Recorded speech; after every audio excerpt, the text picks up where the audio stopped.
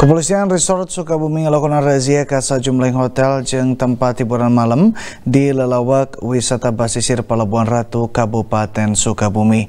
Tina razia itu puluh botol miras diamankan, turut pemandu lagu duaan dibawa petugas lantaran positif konsumsi narkoba jenis sabu.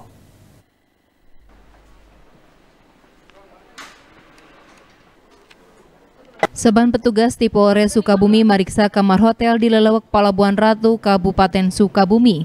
Hasil tineta razia teh petugas manggihan nonoman anu lain pasangan laki rabi anu meting di eta hotel. Lianti razia di hotel, petugas oge ngarazia tempat hiburan malam di eta lelewek wisata. Polisi maluru sakumna kamar karaoke turta mariksa wisatawan anu katohian ke ngonsumsi miras. Tina tilu tempat hiburan malam gede di lelewak wisata Pelabuhan Ratu, polisi ngamankan mang puluh-puluh botol miras di namang pirang jenis turta merek.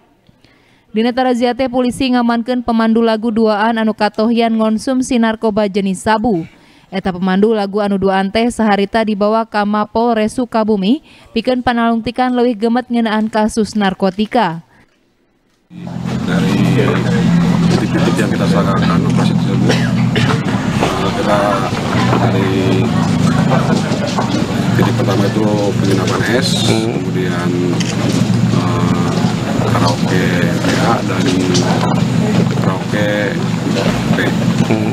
jadi dari PA kami mengamankan dari yang kita periksa terdapat satu orang yang positif diduga menggunakan narkoba. Samala tempat ngajual miras oge di paluruh ku petugas. Hasilna, mang puluh-puluh botol miras di namang pirang merek diamankan ku petugas polisi lantaran henteu boga izin jual ti pamarentah daerah. Liantik itu, oknum anu boga miras oge dipariksa ku petugas polisi secara intensif di Sat Narkoba Polres Sukabumi. Budi Setiawan, Bandung TV.